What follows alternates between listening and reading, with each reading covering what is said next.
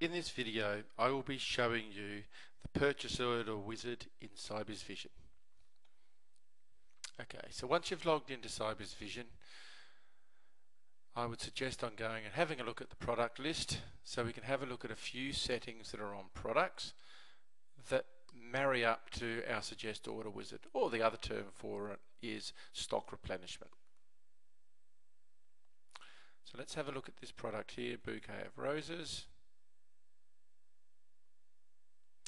And we'll have a look and there's a few things that are important to this product that we need to be aware of. So against locations we have a reorder level. We have a maximum level, a lead time. These are can stock, can buy and can sell to do with the locations. I'm not too worried about those. These three are the important ones. So in the calculation of the suggest purchase order wizard which will figure out how much stock and what products you need to buy to fulfill existing sales orders or simply to have stock in place um, to manage your everyday sales process.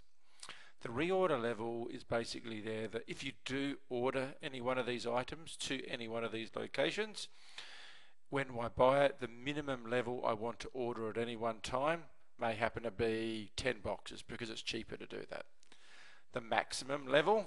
I'll just make this column a bit bigger so you can see them. The maximum level is the maximum I will ever have in stock. That is ignored when it comes down to sales order. So if you've got to fulfill a sales order that has a thousand of a particular item and your maximum level is only 500, the suggest order will take that all into account. And the lead time is how long it takes for the goods to be delivered. So in other words, if it took a week or 10 days, you would put a lead time of 10. And then when it was using the suggest order wizard, it would take that into account with the delivery times that you've given for your sales orders and would order appropriately to do with that.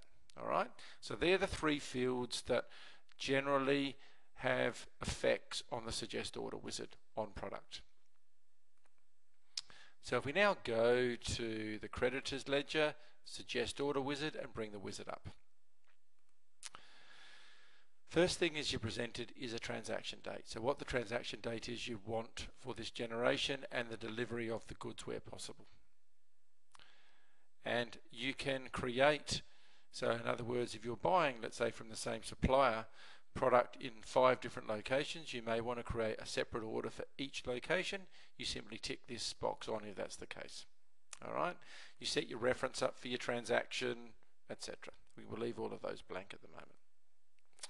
Then you come up with your filter criteria.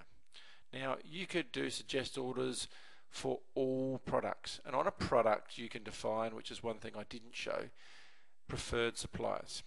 So it uses preferred suppliers to go and determine which supplier to buy from and also goes and checks prices to make sure which one's the cheapest. So what I'm going to do is run this wizard with everything selected here using transaction history and using order entry. Now there's a difference between these two. Transaction history is simply going to look at the historical transactions and if you have a look here it's going to look over the past three months. It wants to see how many you sold. And it's going to calculate that out and make a determination how many you need to order to maintain the standard selling cycles that you have. And if you're in a place which is seasonal, where you go change the start and end dates to maybe 12 months ago, and if it was a high seasonal point, it would read the transaction history from that perspective.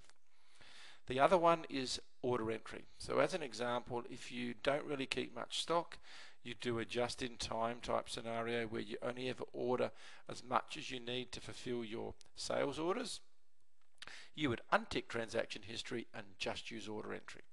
But I'll do both for this fact. Just to start with here, pop through and it presents the quantities that we have to order, all the products and their locations. And we could do a group if we wanted to by location and we could say I want to include all the products for South Australia, New South Wales, WA but I don't care about VSM. You have also the ability to, even though it says 200, but you want to change it, and I want to make it 250, well, you can do that too then. All right. Now I'm going to go back for a sec, and I'm going to say I don't want to look at transaction history. I just want to look at order entry. We'll come through, and I will take the location off, and you'll see a whole batch of items here that have been calculated as well, but there's a lot less. If I come back and I tick off order entry and just use transaction history. There's only three based upon transaction history for the past three months that it suggests I buy and only one of each. All right. So you can make your own determinations there. But I'm going to tick both of them on, but I'm just going to say a subset of suppliers because I'm just doing this for my demonstration supplier.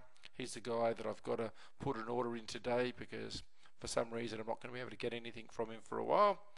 I'll go hit next and here's the products that I need.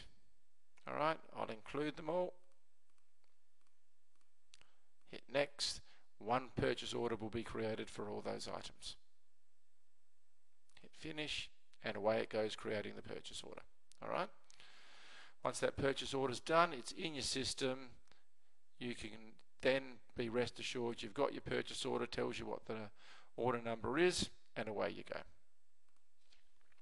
To learn more about this feature, you can check out the product help. Thanks for watching, and thanks for choosing Sybiz.